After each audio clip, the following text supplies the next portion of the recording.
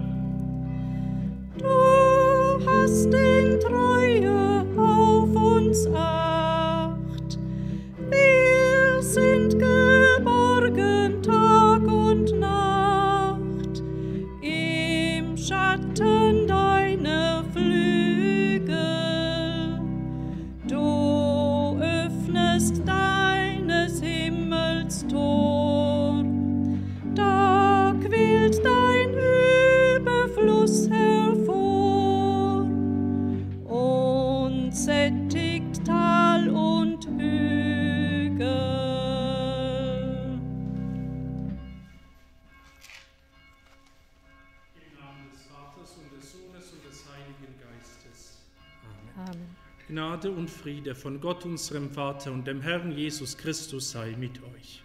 Und mit deinem Geiste. Liebe Schwestern und Brüder, ganz herzlich begrüße ich Sie zur Vorabendmesse zum sechsten Sonntag im Jahreskreis hier aus der Kirche Maria Himmelfahrt und St. Egidius in Erlebach. Ein ganz herzlicher Gruß auch an Sie, liebe Schwestern und Brüder, die diesen Gottesdienst per Livestream mitverfolgen.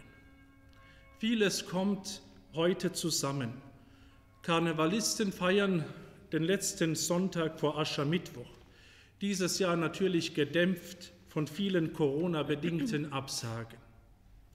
Verliebte feiern den Valentinstag, Corona-bedingt auch nicht in großer Runde. Doch wir Christen feiern den Tag des Herrn, Corona-bedingt mit gebührendem Abstand. Der Einzige, der uns jetzt ohne Kontaktbeschränkung ganz nahe kommen kann und der uns auch ganz nahe kommt, ist Jesus Christus selbst. Ihn grüßen wir in unserer Mitte und bitten ihn um sein Erbarmen.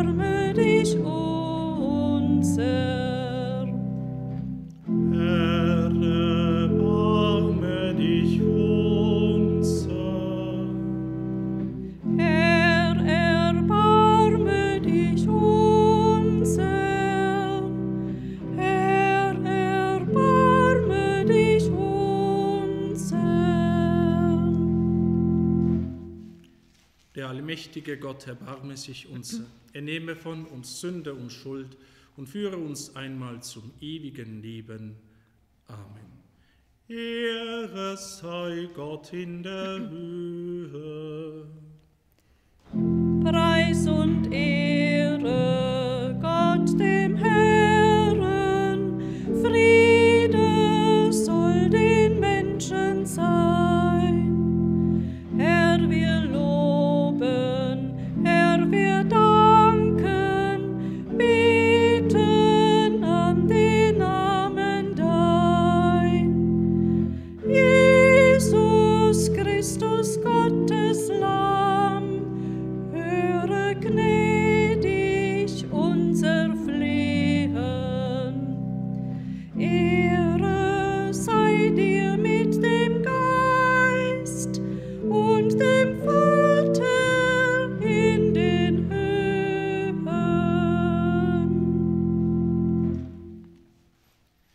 Lasset uns beten.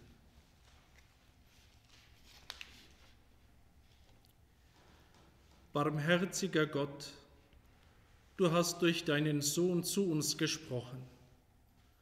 Lass uns immer wieder über dein Wort nachsinnen, damit wir reden und tun, was dir gefällt. Darum bitten wir durch Jesus Christus, deinen Sohn, unseren Herrn und Gott, der in der Einheit des Heiligen Geistes mit dir lebt und herrscht in alle Ewigkeit. Amen.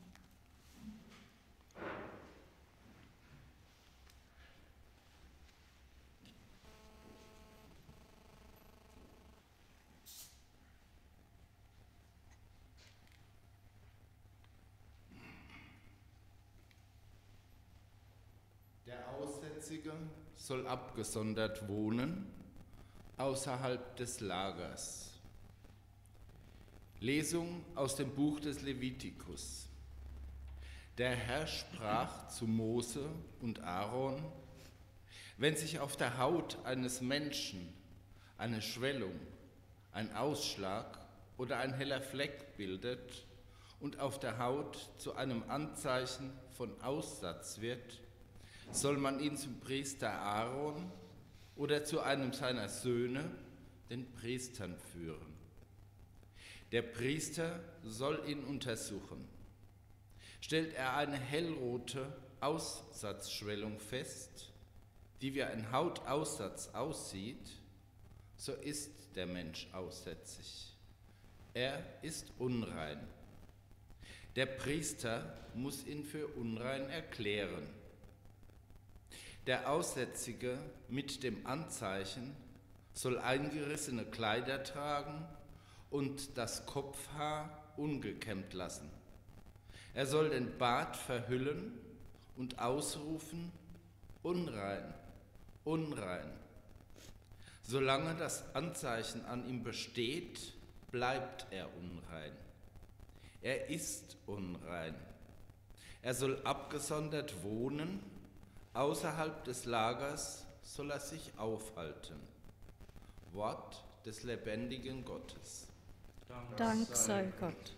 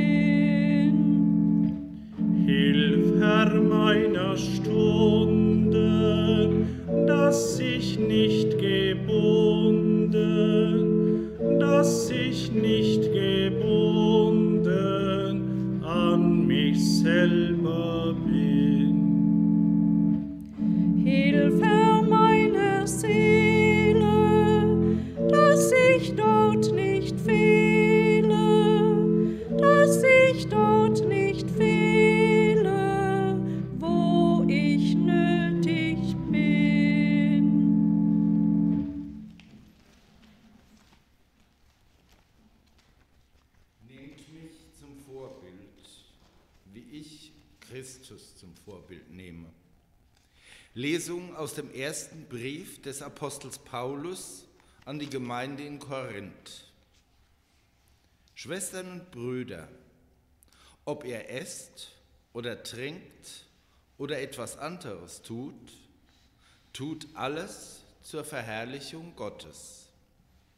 Gebt weder Juden noch Griechen noch der Kirche Gottes Anlass zu einem Vorwurf. Auch ich suche allen in allem entgegenzukommen. Ich suche nicht meinen Nutzen, sondern den Nutzen aller, damit sie gerettet werden. Nehmt mich zum Vorbild, wie ich Christus zum Vorbild nehme. Wort des lebendigen Gottes. Dank sei Gott. Halleluja,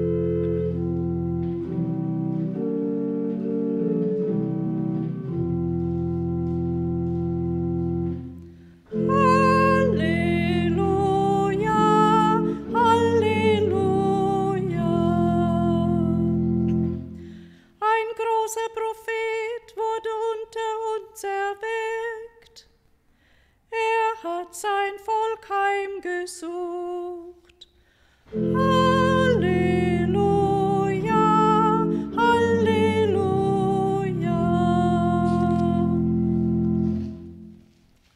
Der Herr sei mit euch. Und mit deinem Geiste. Aus dem heiligen Evangelium nach Markus. Ehre sei dir, o Herr. In jener Zeit kam ein Aussätziger zu Jesus und bat ihn um Hilfe. Er fiel vor ihm auf die Knie und sagte, Wenn du willst, kannst du mich reinmachen. Jesus hatte Mitleid mit ihm, er streckte die Hand aus, berührte ihn und sagte, Ich will, werde rein. Sogleich verschwand der Aussatz und der Mann war rein. Jesus schickte ihn weg, wies ihn streng an und sagte zu ihm, Sieh, dass du niemandem etwas sagst, sondern geh, zeig dich dem Priester und bring für deine Reinigung dar, was Mose festgesetzt hat, ihnen zum Zeugnis. Der Mann aber ging weg und verkündete bei jeder Gelegenheit, was geschehen war. Er verbreitete die Geschichte, so dass sich Jesus in keiner Stadt mehr zeigen konnte. Er hielt sich nur noch an einsamen Orten auf. Dennoch kamen die Leute von überall her zu ihm. Evangelium unseres Herrn Jesus Christus. Lob sei dir, Christus.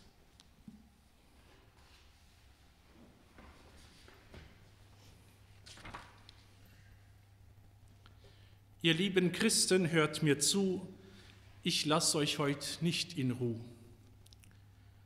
Hält auch Corona uns noch klein, so dürfen wir doch fröhlich sein. So lesen wir bei Markus heute, wie Jesus einen Mann erfreute, der fern von allen leben musste, da er um seine Krankheit wusste. Er war von Aussatz übersät, für jede Hoffnung war es zu spät. Doch eilte er dem Herrn entgegen, er tat es wohl der Heilung wegen. Er warf sich fromm auf seine Knie und bettelte so wie noch nie, Herr, wenn du willst, kannst du mich heilen, bevor der Tod wird mich ereilen.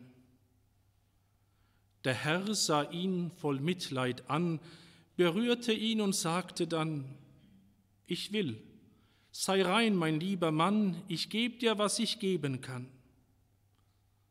Der Aussatz war sofort verschwunden, der diesen Menschen hat geschunden. Dann sagt der Herr auf Wiedersehen, es solle noch zum Priester gehen. Der führte das Gesundheitsamt und passte auf, dass nichts verschlammt. Die Heilung wird dort registriert, exakt genau, wie es sich ziert. Heute machen Priester das nicht mehr. Beamte kommen dafür her. Auch bei Corona sind sie wichtig, meist engagiert, so ist es richtig. Der Mann dürft keinem was erzählen, man würde die Verfolgung wählen, denn manche wollten Jesus töten, weil er mit Gott half aus den Nöten. Doch leider konnte der Mann nicht schweigen.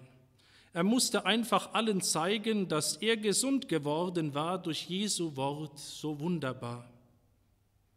So musste Jesus sich verstecken, in kleinen Orten, hinter Hecken, doch kamen dorthin ganze Scharen, die voll von ihm begeistert waren. Die Sache ist heute umgekehrt. Der Herr wird öffentlich verehrt, doch oft tun wir den Mund nicht auf, die Botschaft nimmt nicht ihren Lauf. Stattdessen reden wir von Dingen, die schlecht und negativ nur klingen. Was sind wir häufig doch für Narren, dass wir in solchem Tun verharren. Bedroht Corona einen jeden, sehr viele von Verschwörung reden, und Fake News machen ihre Runde, sie kommen aus verquerem Munde.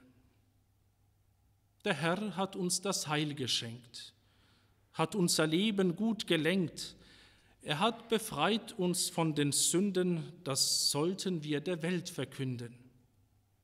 Und wir können dabei fröhlich sein, in Jubellieder stimmen ein, denn Christsein, das ist wunderbar, es macht das Leben hell und klar. Ich wünsche euch heute an Karneval viel Gottes Segen überall. Hello, sag ich, seid froh von Herzen, vergesst bei allem nicht zu scherzen. Vielleicht ist ja im nächsten Jahr der Karneval voll wieder da. Das hoffen wir und zu verzagen, auch wenn wir Last und Masken tragen.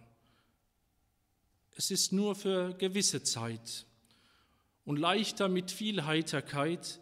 Zum Schluss sage ich jetzt wieder Amen an Fasching heute im kleinen Rahmen.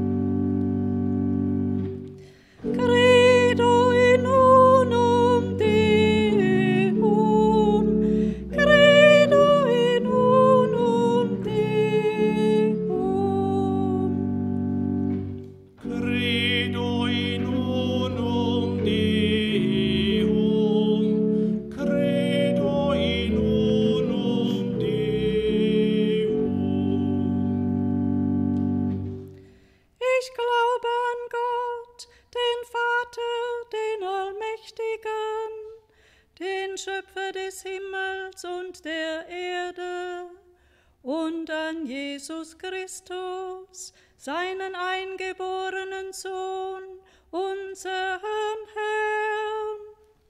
Credo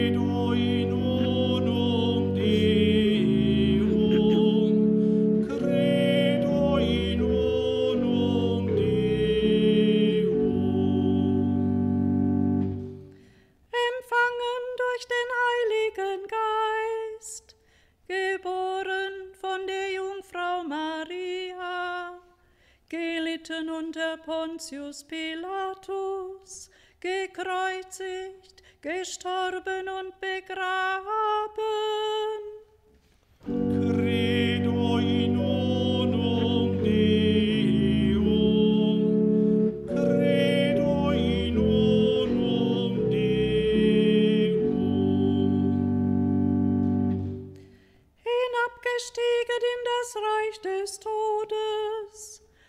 Dritten Tage auferstanden von den Toten, aufgefahren in den Himmel. Er sitzt zur Rechten Gottes, des allmächtigen Vaters. Credo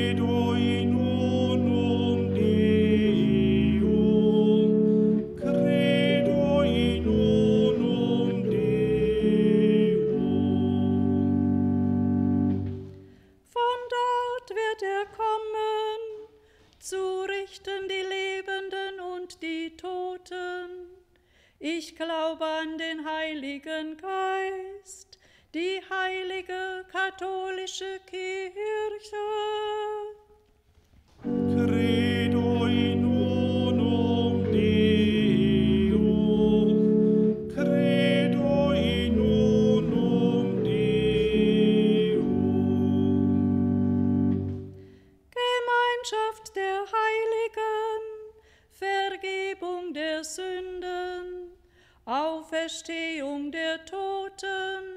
und das ewige Leben.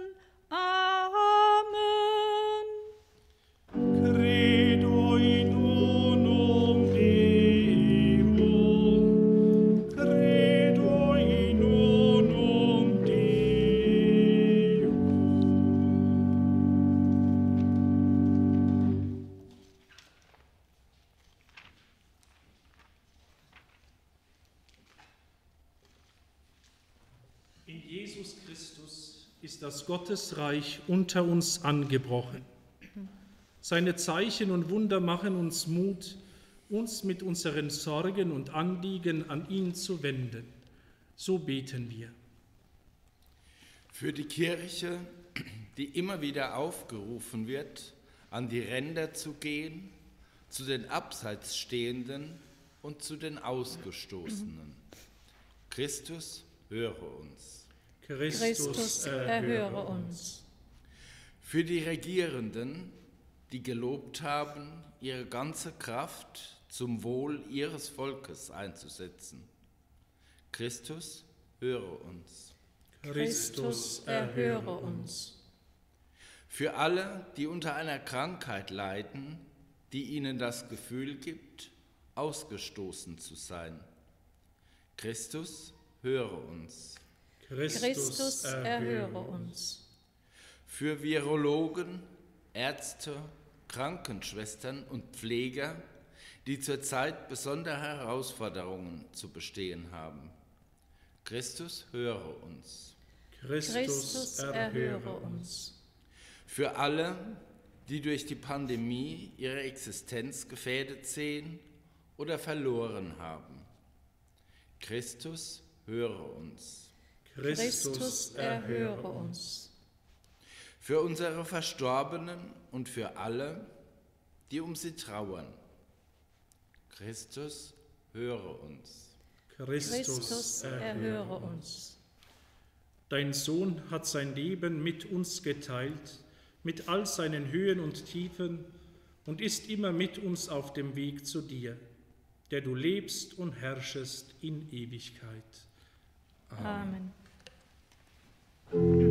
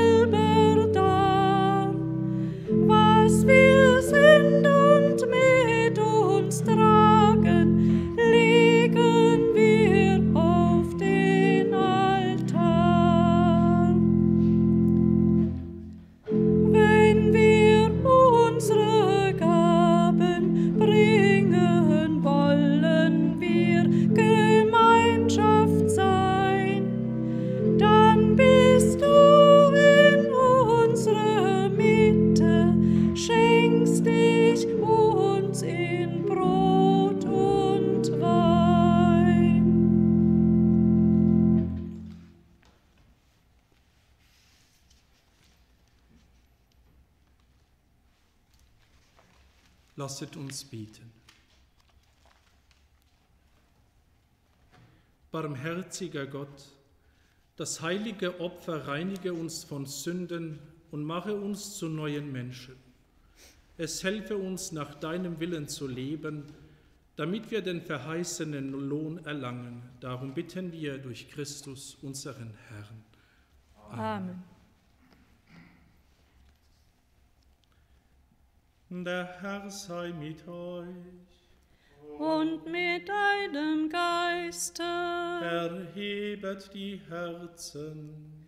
Wir haben sie beim Herrn. Lasset uns danken dem Herrn, unserem Gott. Das ist würdig und recht. In Wahrheit ist es würdig und recht, dir, Herr heiliger Vater, immer und überall zu danken, durch deinen geliebten Sohn Jesus Christus. Er ist dein Wort, durch ihn hast du alles erschaffen. Ihn hast du gesandt als unseren Erlöser und Heiland. Er ist Mensch geworden durch den Heiligen Geist, geboren von der Jungfrau Maria. Um deinen Ratschluss zu erfüllen und dir ein heiliges Volk zu erwerben, hat er sterben die Arme ausgebreitet am Holze des Kreuzes. Er hat die Macht des Todes gebrochen und die Auferstehung kundgetan.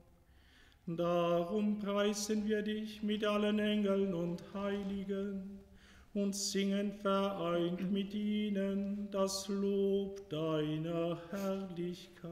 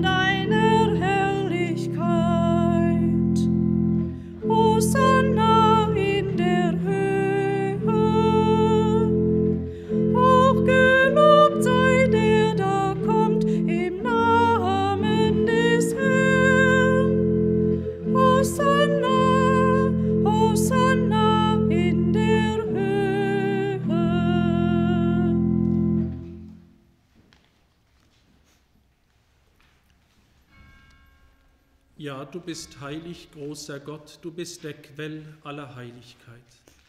Darum kommen wir vor dein Angesicht und feiern in Gemeinschaft mit der ganzen Kirche den ersten Tag der Woche, den Sonntag als den Tag, an dem Christus von den Toten erstanden ist.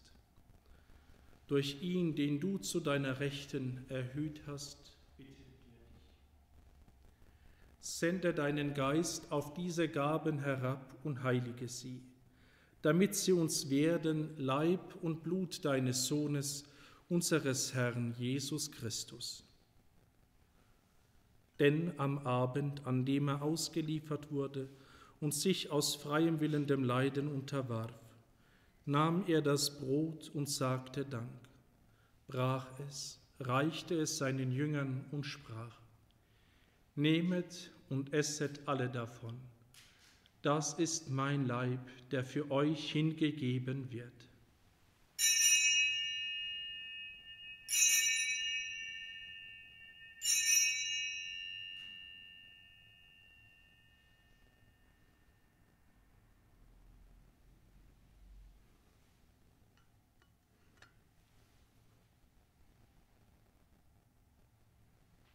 Ebenso nahm er nach dem Mahl den Kelch, dankte wiederum, reichte ihn seinen Jüngern und sprach, Nehmet und trinket alle daraus. Das ist der Kelch des neuen und ewigen Bundes, mein Blut, das für euch und für alle vergossen wird zur Vergebung der Sünden. Tut dies zu meinem Gedächtnis.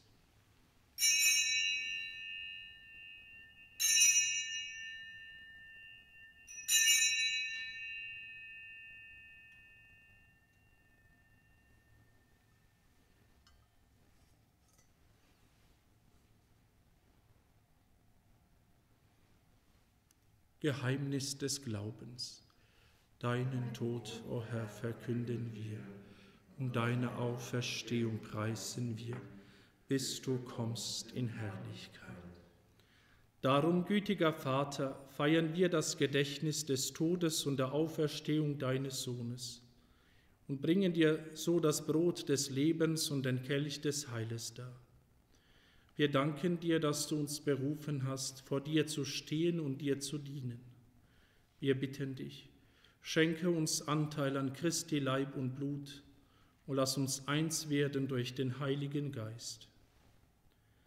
Gedenke deiner Kirche auf der ganzen Erde und vollende dein Volk in der Liebe, vereint mit unserem Papst Franziskus, unserem Bischof Karl-Heinz, Weihbischof Otto und allen Bischöfen, unseren Priestern und Diakonen und mit allen, die zum Dienst in der Kirche bestellt sind.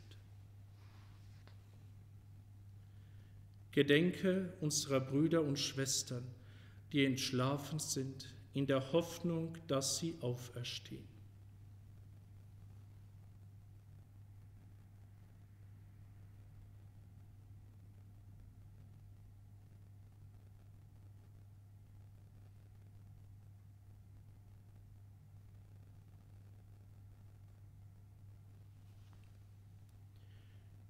Nimm sie und alle, die in deiner Gnade aus dieser Welt geschieden sind, in dein Reich auf wo sie dich schauen von Angesicht zu Angesicht. Vater, erbarme dich über uns alle, damit uns das ewige Leben zuteil wird.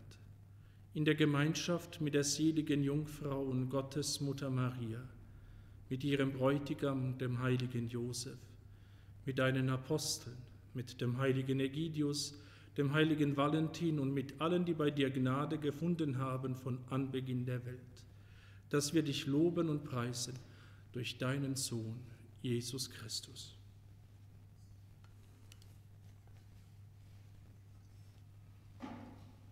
Durch ihn und mit ihm und in ihm ist dir Gott allmächtiger Vater in der Einheit des Heiligen Geistes alle Herrlichkeit und Ehre, jetzt und in Ewigkeit. Amen.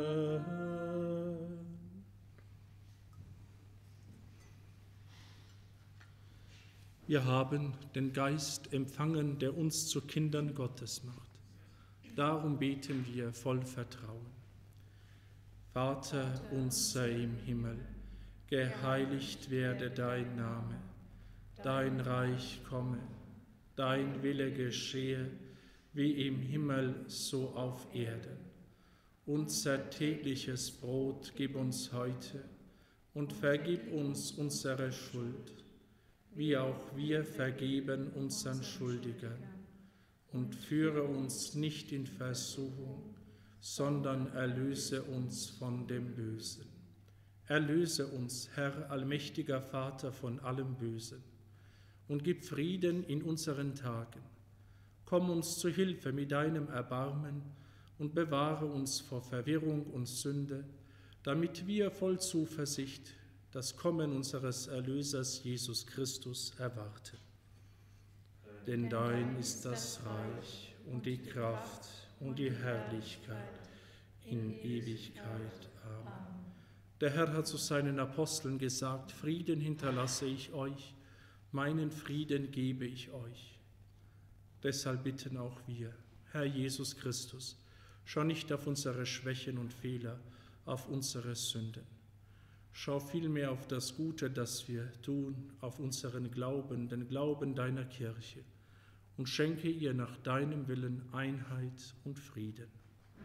Und dieser Friede des Herrn sei alle Zeit mit euch.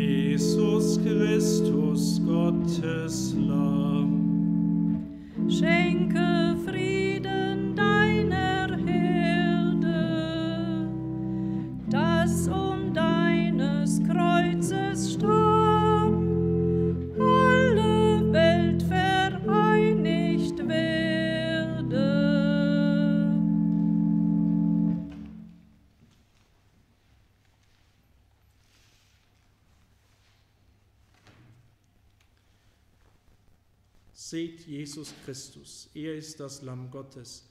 Er nimmt hinweg die Sünde der Welt. Herr, Herr, ich bin nicht würdig, dass, dass du eingehst unter mein Dach, aber sprich nur ein Wort, so wird meine Seele gesund. Der Leib Christi. Amen.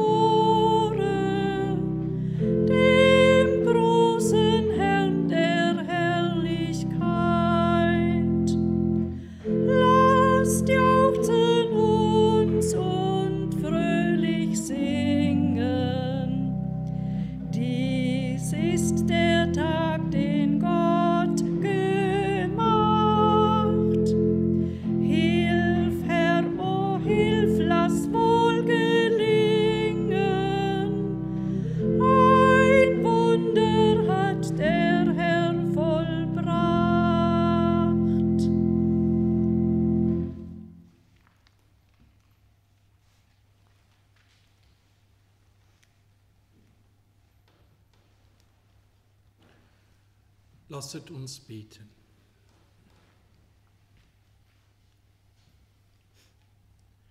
Gott, du Spender alles Guten, du hast uns das Brot des Himmels geschenkt, erhalte in uns das Verlangen nach dieser Speise, die unser wahres Leben ist. Darum bitten wir durch Christus, unseren Herrn. Amen. Ab kommenden Mittwoch, dem Aschermittwoch, beginnen in unserer Pfarrei wieder die öffentlichen Gottesdienste laut Pfarrbrief. Ihnen allen wünsche ich einen gesegneten Sonntag und eine gute kommende Woche.